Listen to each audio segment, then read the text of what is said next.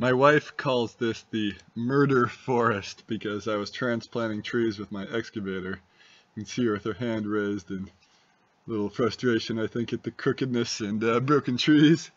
Um, but anyways, while I was doing this work, my John Deere 490E excavator sprung a hydraulic leak, which you can see here. Uh, the leak was actually in a pilot line uh, that ran up to the left control lever in the cab. Um, it was, uh, the split actually happened though in the uh, back left engine compartment by the batteries. Uh, so fortunately I didn't have all this hydraulic oil in the cab, uh, but there was a lot of hydraulic oil leaking out as you can see from my little gauge here. Um,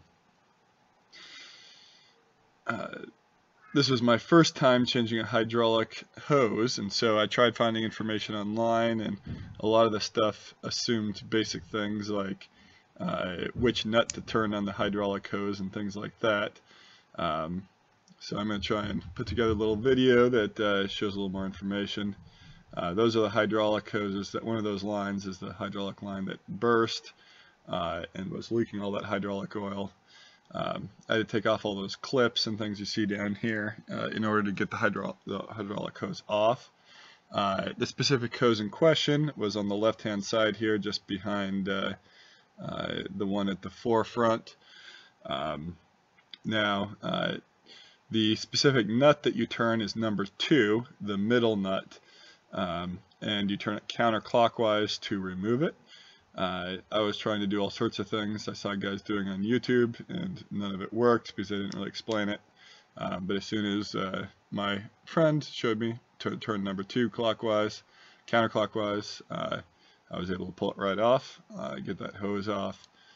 Um, ended up taking the hose to a, uh, uh, a hose shop. There's a lot of them around. If you just look up hydraulic hose replacement or repair, you'll find them. Uh, you'll see here that I covered the uh, hose outlet in plastic with a rubber band uh, to keep dirt and grime and water out of it uh, because that can cause further damage to your hydraulic system and more hoses to fail, more or your pump to fail.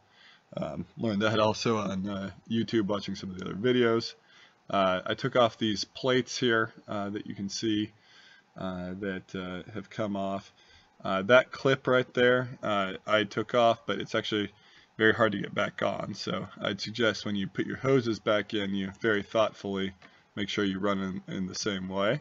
Otherwise, that little clip that holds those hoses together uh, is uh, very difficult to get back together.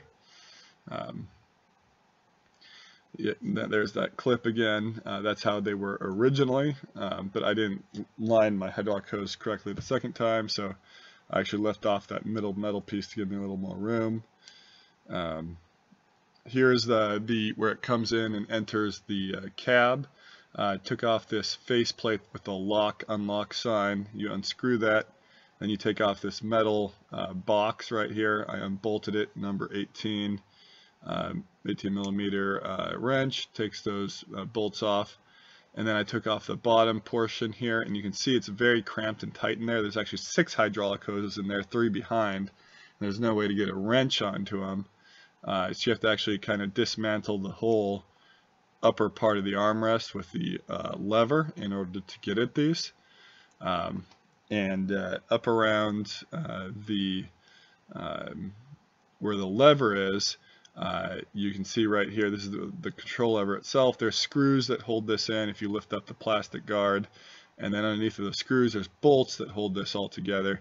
You take those bolts off and you can drop that whole component down out of this very tight uh, armrest and that allows you to get uh, the hoses off. Uh, for me I had to take off the two front hoses because I needed to get a, hose that was in the back of this compartment. Um, you can see I've got uh, this pushed up there. Now when I uh, took off the hose in, the first time I attached a string to it uh, when I pulled the hose through so I could pull the hose back the other direction. Um, that was an idea of a friend of mine, and uh, it was perfectly right on. Um, now getting in there and making these changes, very difficult as you can see until you get that thing kind of pulled out. Uh, but here I got them taken off. Now I'm reattaching them. I strongly suggest you also mark which hose is which and which one goes where. Uh, I uh, did try to mark them on this blue tape, but the hydraulic oil ended up rubbing my pencil off. Um, but my photograph I'd taken earlier allowed me to figure out which hose went where.